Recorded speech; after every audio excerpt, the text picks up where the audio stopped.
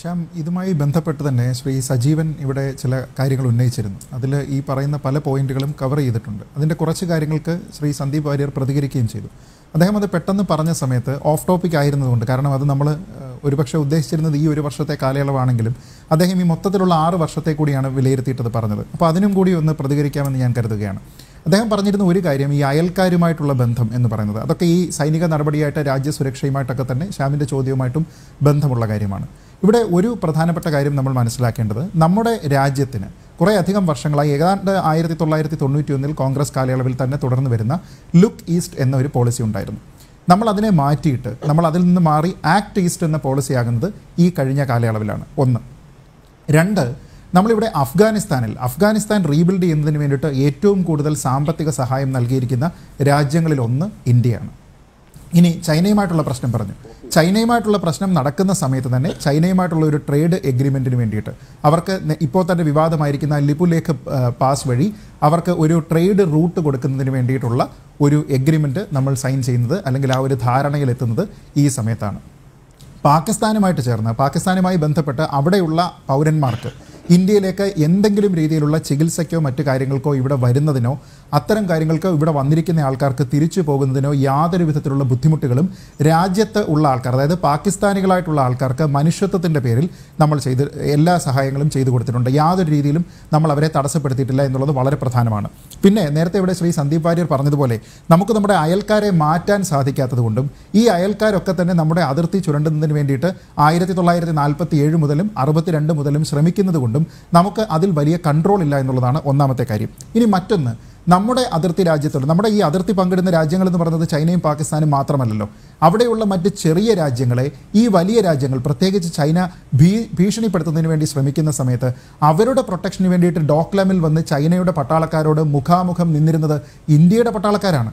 ഏറ്റവും പ്രധാനമാണ്.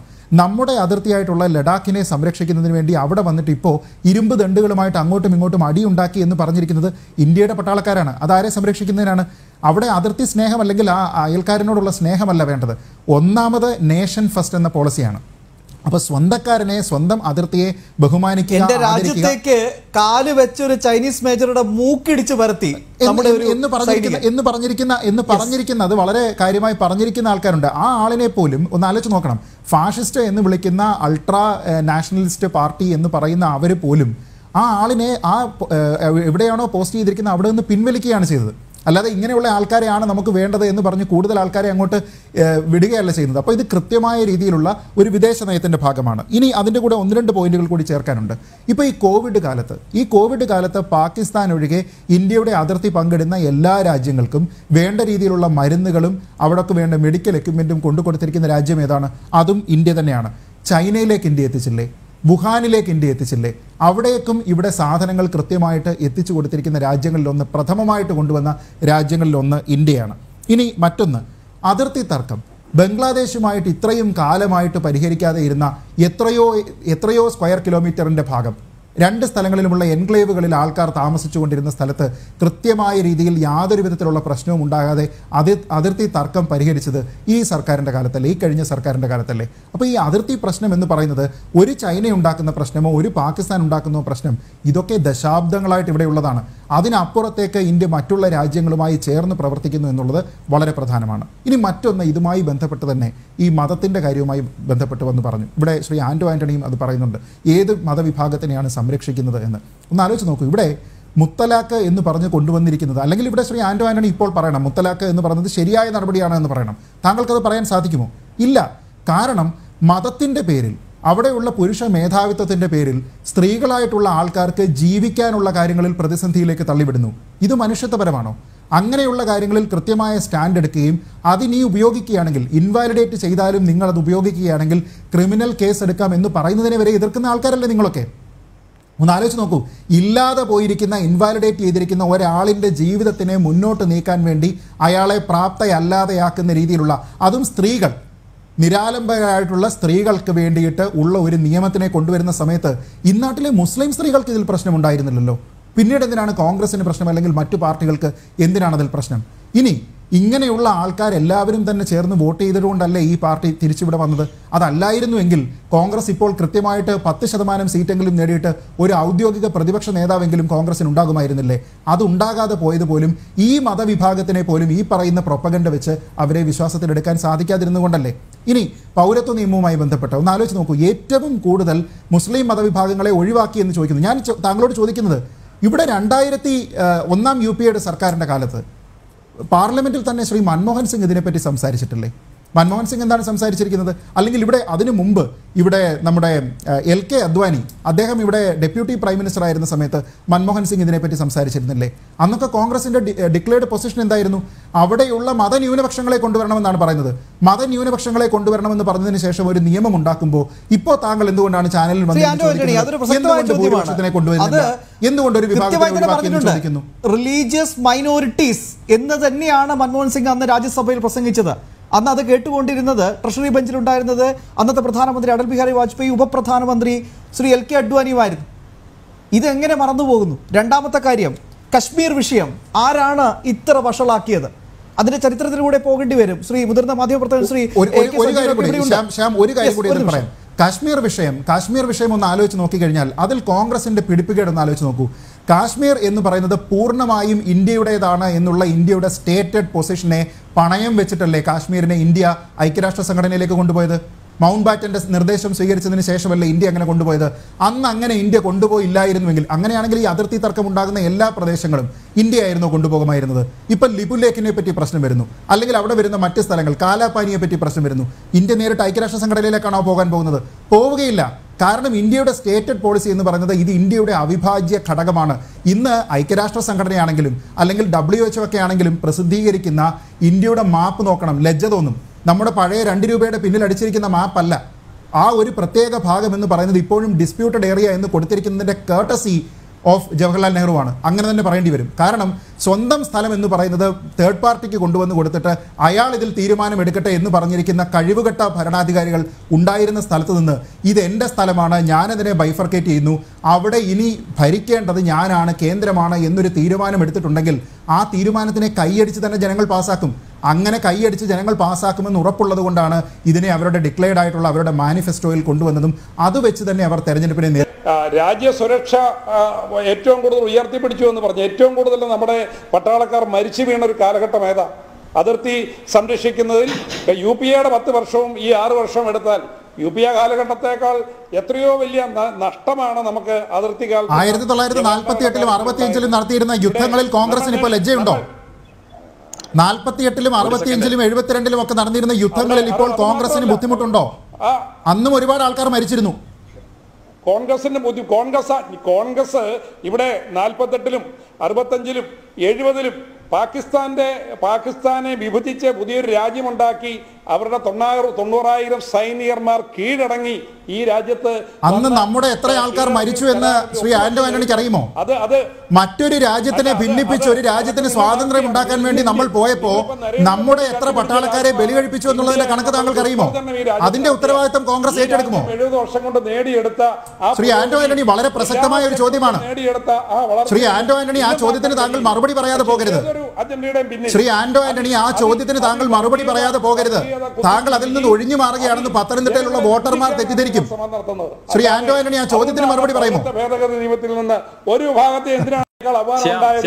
ഭീകര പ്രവർത്തനത്തിന് ജയിലിൽ അടച്ചിരുന്ന നമ്മുടെ തടവുകാരെ നമ്മുടെ രാജ്യരക്ഷാ മന്ത്രി ഇന്ത്യയുടെ ഔദ്യോഗിക വിമാനത്തിൽ കൊണ്ടുവന്ന് പണവും കൊടുത്ത് അവിടെ അവരെ മോചിപ്പിച്ചുകൊണ്ട് വന്ന നാണക്കേട്.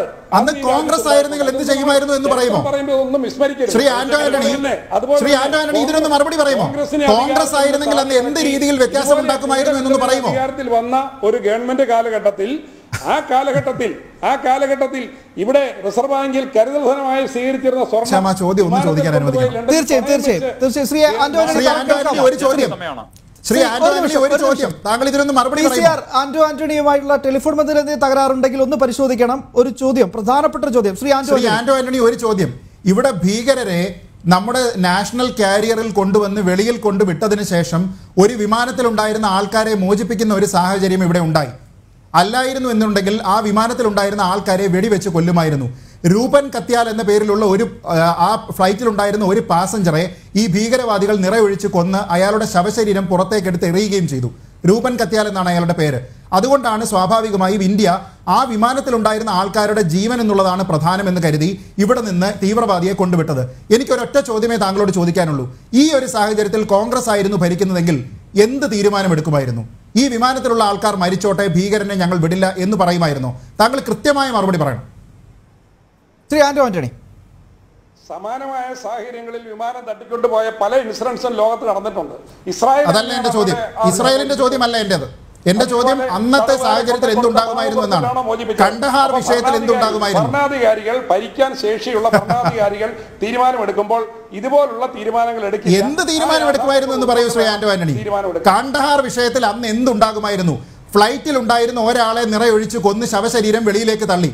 അതിനുശേഷം അവർ ബാർഗെയിൻ ചെയ്യുന്നു ഞങ്ങൾക്ക് ഈ തീവ്രവാദിയെ വിട്ടുകിട്ടണം. അന്ന് കോൺഗ്രസ് ഭരിക്കുന്നു. എന്ത് തീരുമാനം എടുക്കുമായിരുന്നു എന്ന് താങ്കൾ പറയൂ. യെസ് ഒരു നിമിഷം നിശ്ചയമായിട്ടും ആ ആ വിമാനത്തിൽ നിന്ന് അവിടെ തീവ്രവാദികളിൽ നിന്ന് അവരെ മോചിപ്പിക്കാൻ എടുക്കേണ്ട പല തീരുമാനങ്ങളുണ്ട്. ഞാൻ എങ്ങനെ? വിദേശ രാജ്യത്തോ. കാണ്ഡഹാറിലോ അഫ്ഗാനിസ്ഥാനിലോ? ഈ ലോകത്തുണ്ട്. അഫ്ഗാനിസ്ഥാൻ ഭരിക്കുന്നത് ഇന്ത്യ അല്ല. അഫ്ഗാനിസ്ഥാൻ ഇതാണ്- ഭരിക്കുന്നത് ഇന്ത്യ അല്ല. ചോദ്യത്തിന് മറുപടിയില്ല. ആരോപണമേ ഉള്ളൂ. ഇസ്രായേൽ ആയിരുന്നില്ല ഇസ്രായേൽ ഭരിച്ച രാജ്യത്ത് നിന്നല്ല. ഞാൻ ഇസ്രായേൽ അല്ല പറഞ്ഞത്. ഞാൻ. കണ്ടഹാറാണ് പറഞ്ഞത്. നിയമവാഴ്ചയെ കുറിച്ച് ഒരു മഹത്വം ഒന്നും പറഞ്ഞു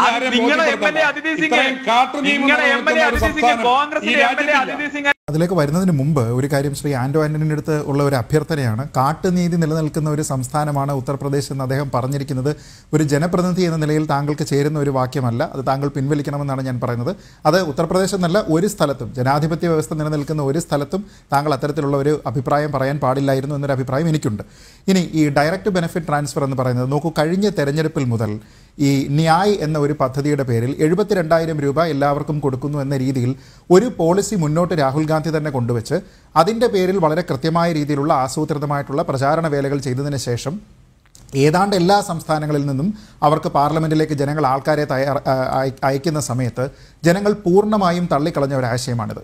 ഇനി ഡയറക്റ്റ് ബെനിഫിറ്റ് ട്രാൻസ്ഫർ എന്ന് പറയുന്നത് കൊടുത്തിട്ടുണ്ടോ ഇല്ലയോ എന്നുള്ളത് ഒന്ന് പോയിന്റ് ഏഴ് ലക്ഷം കോടിയുടെ ഒരു പാക്കേജ് ഇവിടെ കൊടുത്തിരിക്കുന്ന സമയത്ത് നോക്കണം.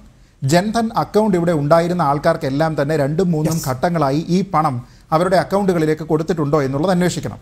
പിന്നീട് കേന്ദ്ര സർക്കാർ എന്ത് പാക്കേജാണ് കൊണ്ടുവരുന്നത് എന്നുള്ളത് പറഞ്ഞു. ജി ഡി പിയുടെ അഞ്ച് ശതമാനം അല്ലെങ്കിൽ ആറ് ശതമാനമെങ്കിലുമുള്ള പാക്കേജാണ് ഇവിടെ പാവപ്പെട്ടവർക്ക് വേണ്ടിയും മൊത്തത്തിലുള്ള സമഗ്ര വികസനത്തിന് വേണ്ടിയിട്ടും കൊണ്ടുവരേണ്ടത് എന്ന് ശ്രീ രാഹുൽ ഗാന്ധി പറഞ്ഞു.